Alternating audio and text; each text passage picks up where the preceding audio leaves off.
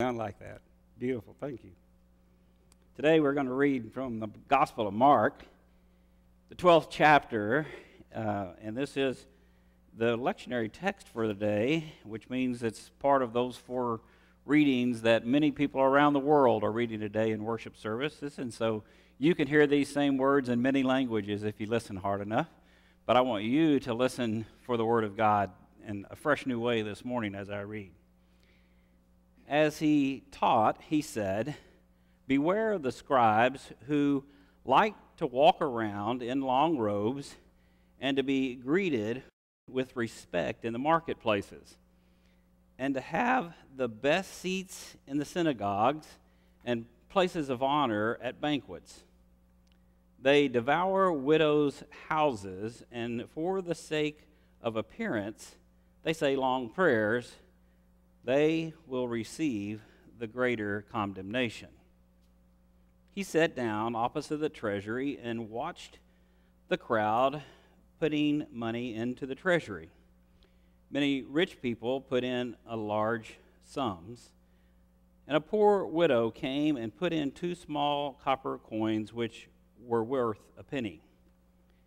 Then he called his disciples and said to them, Truly I tell you, this poor widow has put in more than all those who are contributing to the treasury for all of them have contributed out of their abundance, but she, out of her poverty, has given, has put in everything she has, all she had to live on. This is the word of God for the people of God. Thanks, be to God. So this morning we're uh, doing there. We're going to do a couple of sermons that are just on their own, and then on December the second, we're going to start a worship series that's called the Nutcracker, and it's, the lessons are actually going to come from that uh, great piece of, uh, I guess it's a ballet. Is that a ballet? Yeah, the ballet. Uh, but also great pieces of music that you know well. Uh, and uh, it, it's an interesting uh, thing. And next week, I'm going to have some actual invitations that you're going to have in your hands that you can hand to somebody else and invite them to come and be a part of this Advent worship series uh, here at First Methodist. But today we're looking at this passage in Mark, and as I read and did some studying and thinking about what I would talk about, I was reminded that I really kind of enjoy people watching. And what I really know is, so do you. you actually enjoy people watching. Uh, I, uh, you know, I, I, like to look at people in different situations, and y'all know that for many years I was in retail, and almost all of the years I was in retail, I had some connection with the shoe business. Okay? And we would be in airports, and I'd be looking at people's feet, and my wife would look at me strangely, and I'd say, I'm just checking out what's going on with the shoes. And, you know, I would imagine some of the other people in the airport thought that was strange. But, you know, it's a great place to see a variety of what people are actually wearing. And that's one way of people watching. But I'll tell you that really, like two weeks after I came here, we went to Austin for a training that Marianne was doing, and I had the whole day free to, you know, make my way around Austin. And I ended up at a little place called the it was called Cosmic Ca- uh, Cosmic Coffee.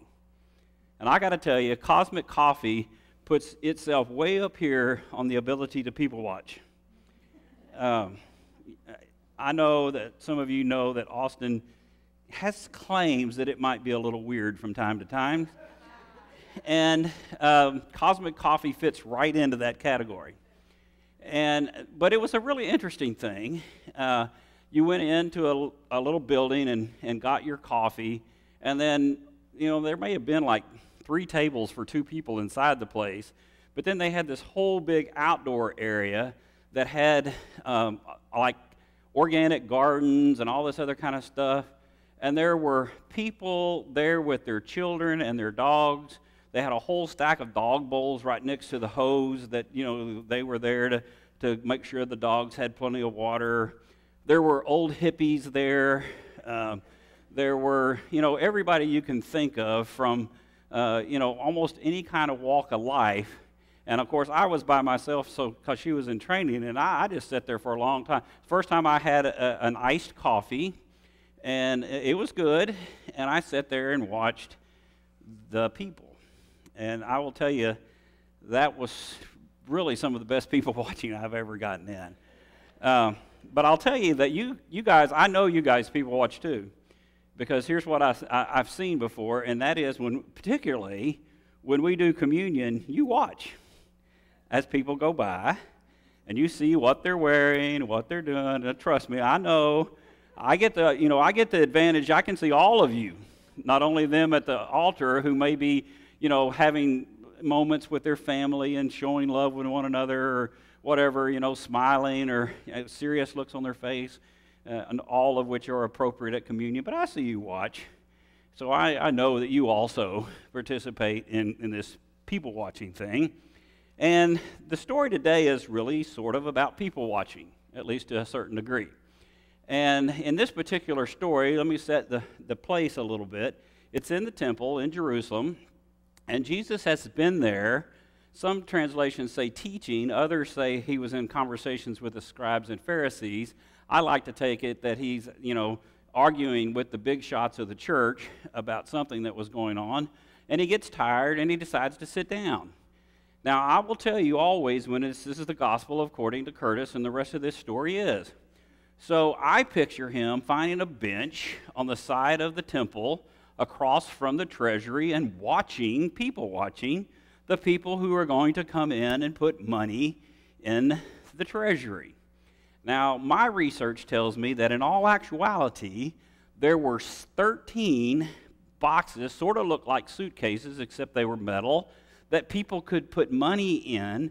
And there was one for the pastor's salary, and one for the widows and the orphans, and one for the trustees to take care of the temple. And, and this was a fabulous temple. They say it was 150 feet high.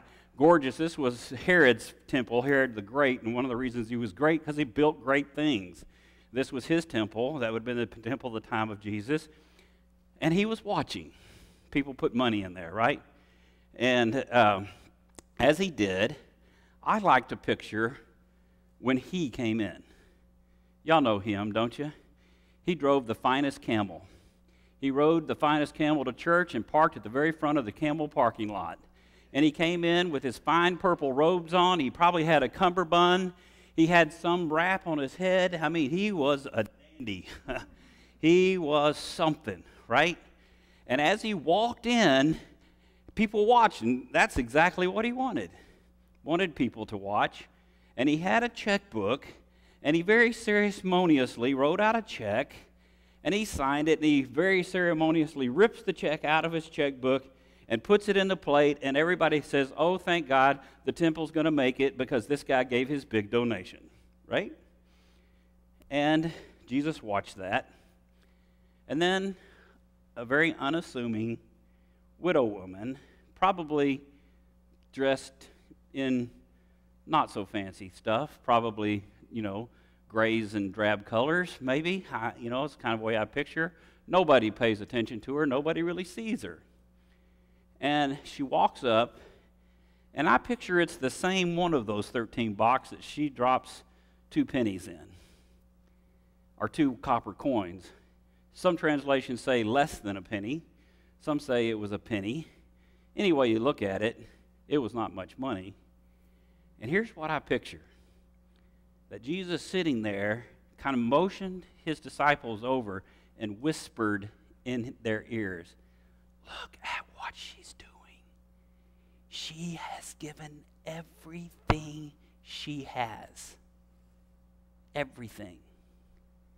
And then he says, of all the people, she's given more than any of them, because all of the rest of them have given out of their abundance, and she has given out of her poverty everything that she has. Now, I want to take this different than just money. Obviously, this is a story about money, isn't it? But I think it's more than just money. I think it's how we are in relationship with God and how we give of ourselves. And when they saw her, Jesus said, Pay attention to that one. Maybe because nobody else was, but maybe just because he understood. And she puts her money in, and probably very assum- unassumingly walks back and does her thing. And you know her name, right? Oh, no, you don't. You don't know her name because Scripture doesn't record it. Now, we know Zacchaeus and we know Barnabas and we know some other folks in the Scripture, but we don't know her name. We don't because they didn't record it. Mark doesn't record it. And I think there may be several reasons for that. I've told y'all before, Mark's my favorite gospel because Mark is move, move, move. Immediately, immediately, immediately, tomorrow, the next day, when we were finished this, with this, we moved on to this. And maybe he was just too busy to think about it. But I have another explanation. And again, I'm going to warn you this is the gospel according to Curtis. And that is that I think sometimes that the gospel people, writers, you know, the ones that have survived to our time, Matthew, Mark, Luke, and John, they sometimes don't tell you a name because they want you to understand what the person did and be able to place yourself into the story in place of them. Do you get that? They want to be able to say, You look at Kathy. You know, uh, you look at uh, Wesley, you look at whoever, and, and you'll see somebody who's giving it their all. Okay? Y'all understand that part of it? I mean, I think it's a possibility. Again, take it for what you will. That's one of the reasons I think that we don't know her name. But I'm going to do something maybe that's not real smart, and I'm going to give her a name, and I'm going to call her Hannah. I don't know why. It's just a name. Don't go out from here and say the guy that Curtis said the, the lady's name was Hannah. I'm just telling you, I just want to put a name to her this morning. And, and so we name her. And when I gave this title for this sermon to Christy to put in the bulletin, I see, you see it says Hannah and the 2%. And you know what she immediately did? How many of you are Aggies? Nobody in here is Aggies? Oh my goodness. Oh, okay, they're all back here. All right. So when I told her 2%, what did she say? Whoop, right? And y'all, y'all know about two percenters at A&M? I know your pastor before you certainly shared some A&M uh, lore with you, right? I'm, I'm sure. Uh, and a two percenter is their belief is that 98% of the people there are fanatics, right? I would like to call them brainwashed, but they would like to call themselves fanatics. And they say 98% of them buy into all of the Aggie stuff, and only 2% of the people don't. Okay? I get that, and I actually respect that. My dad and my brother both went to A&M, and I respect the fact that they have a lot of loyalty to their schools, and that's a good thing. All right? But the 2% in here comes from a little different place. About, uh, it was either a week or two weeks ago, I got one of the things that I get from the Methodist Church, and it was talking about giving. And in this article, uh, the folks that were writing it were said and stated that historically, people throughout time, and it holds true in the church today, that people throughout time have historically given 2% of their income to charity. And that's all charity. That's not just the church that 2% of the general population's income goes to charity. That's everybody, all right? So you know that God has called us to something different, right? In the Old Testament, He called them to give the first 10%. And you know that many of the things that He did, of His things that He required of the people, the Israel, nation of Israel, was so that they could be set apart and that they could be different than the rest of the people. And so I look at this and think, well, if the rest of the world's given 2% and the people who love God are given 10%, that calls them out, makes them different, does it not? All right? And so, uh, you know, I think that's probably part of it. But as I think about that, and this story went on to say that that holds true if you take all of the, the people who are actively attending a Methodist church and took the total income of everybody there and, and got to up a percentage that typically Methodists give about 2% of their income to charity, not to the church, to charity. And, you know, we could focus on that, But that's not really what I want to do today, and I don't really even want to focus on money necessarily. It's obviously a part of this story. But what I would really rather us, us to do is in, instead fix our vision on Hannah. Remember my name, Hannah, right? I want you to think about Hannah and what makes her different than the average.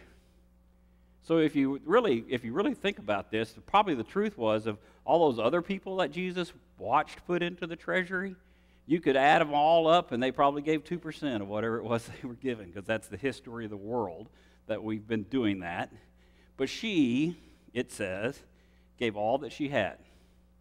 Now, I'm not a proponent of giving everything you have so that you can't take care of yourself and your family. That's not the purpose of that story or this talk this morning.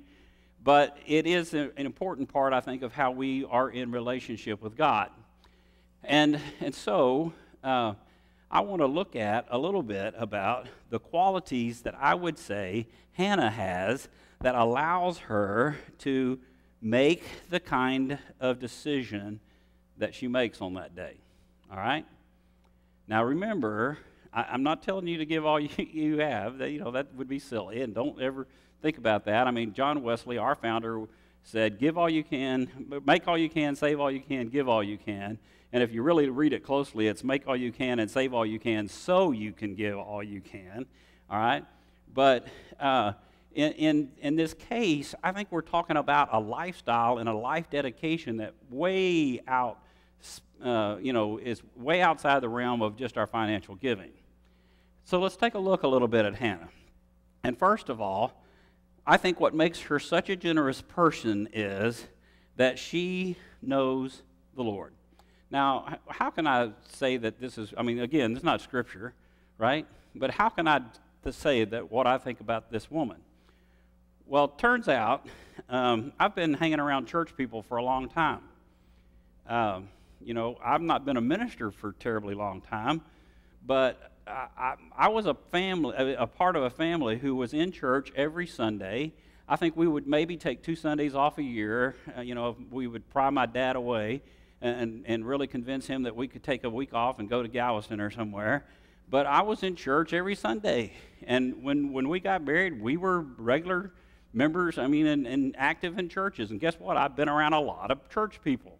And I've been on almost every church committee you can imagine, district wide, conference wide. I've been around a lot of church people.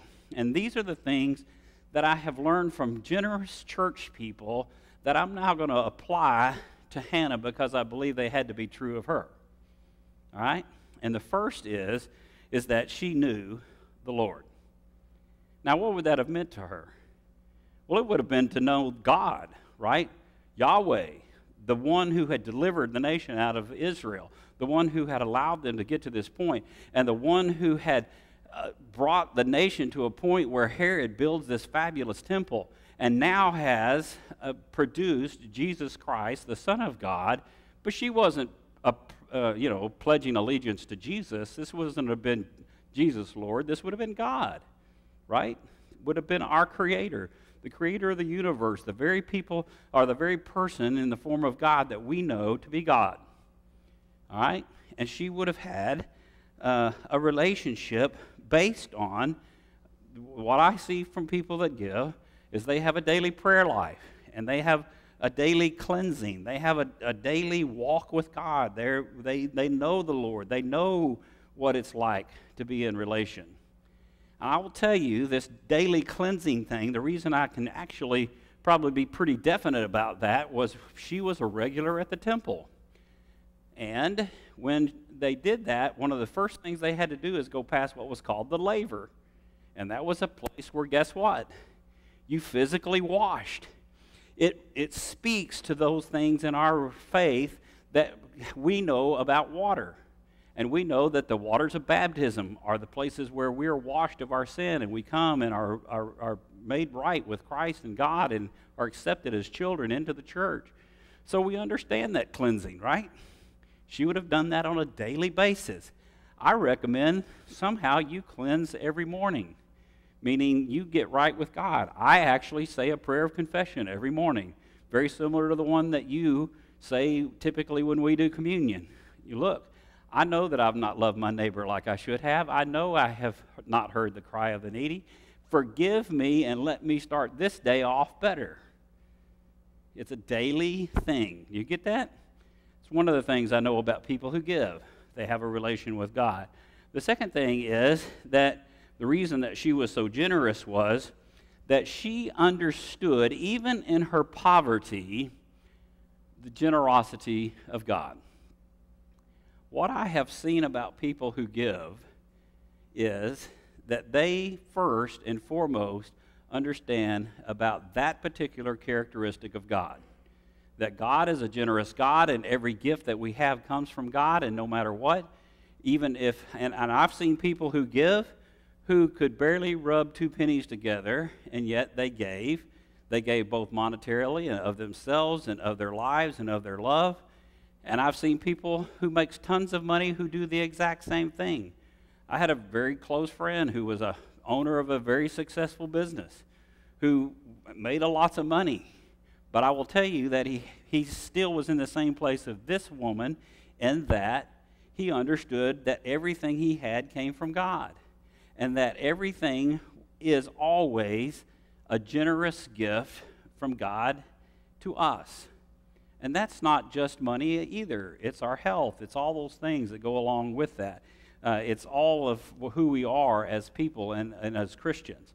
And Hannah had that same feeling. I have to believe it, that she believed that everything came from God. Her good fortune, her health, her, uh, you know, our, our brains, our work habits, everything else that brings to us who we are and what we, how we relate to God. The third reason that I think Hannah was so generous was is that she was a mature person. What I have seen is mature Christians are also giving Christians. It's been my experience in, in that. And what do I mean by that? I mean, first off, she just wasn't a beginner. You know, one of the real struggles that, that our denomination has had is that some of us sit inside congregations and say, well, we get all these people in, but they don't give anything. And then we we we're not any better off financially when, than we were. Well, guess what, my friends? That may be God's plan because that's the way it works. Beginners don't do that. But the truth is that when they're here, we should immediately be making them more mature. We should be making disciples of Jesus Christ out of them to where they get to the place where someone like Hannah is, who understands the generosity of God, who understands that they need to be in love with the Lord, and that then they will come to the same conclusions that our best givers have ever come to. And they give just like they have, you know, just like you have, and supported our church. And I have personally noticed again and again that it's mature people, mature Christians, who are generous givers. And by that, I mean they walk, they talk, they, they know their Bibles, they come to this front, and when they receive the sacraments, they are deeply moved by the fact that they are taking in the body and blood of Christ, that they know for a fact that the way we understand it as, as Methodists is that there is a mysterious presence of Jesus Christ, and in that mysterious presence, their lives are changed and they can go out and change the world. And they're generous people. And then finally, I would tell you that I think that Hannah knows that she will have more than enough. Now, that's a tough, tough story because I got to tell you, again, I've seen people who don't know where the next month's rent's going to come from, don't know where their next, you know, meal really is coming from. But some of them know that if they continue to be faithful to God, and if they continue to give 100%, like this woman did, of their life to God, not necessarily their money, but probably their money too, that somehow things are going to work. And I'm going to tell you a story about a man that I knew when I was young. Uh, he was about 20 years older than I was, and we were having a conversation similar to this about our financial giving at a church and how, you know, how we get to that place. And he told me the story that his family was what they call dirt poor. Y'all know that expression, right? You're from the same neighborhoods of, that I came from. Y'all know what dirt poor is. And uh, that his term. He said they were dirt poor, and his dad was killed in an accident when he was nine years old. And he literally, and his family, and his siblings, and his mother didn't know how they were going to eat the next day. He was killed in an accident where they didn't get some big settlement, you know, and he was gone, the, the sole breadwinner. And he said the next day, a woman from, the church showed up with a basket of food. He said, I became a tither that day. I didn't have anything to tithe on, but when I got it, I gave. Because I know somehow God takes care of us. I can't explain that, and I can't even really tell you how that's going to work for you, you know, in, in times of struggle and stress. But I know this that my experience in my life has been that God takes care of us. And so I'm going to close this with this, and that is I'm going to ask you two questions. I think one of them's really easy. At least for me, it's easy. And hopefully, after we just spend a few minutes on this, it'll be easy for you. And that is the first question is why was Hannah so generous? She knew God.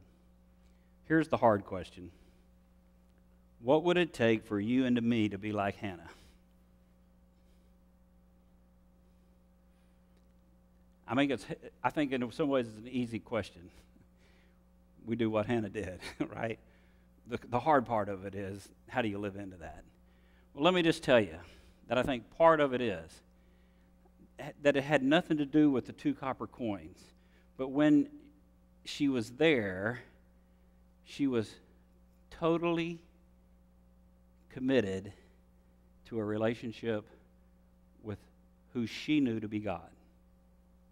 The God who had brought them out of Egypt, the God who had placed them in the promised land, the God who had taken care of those and uh, had answered every promise throughout history. She trusted that, and she was in all, or all in, as we would say today, right? She was all in. So, my prayer today is how can we be like Hannah? Amen.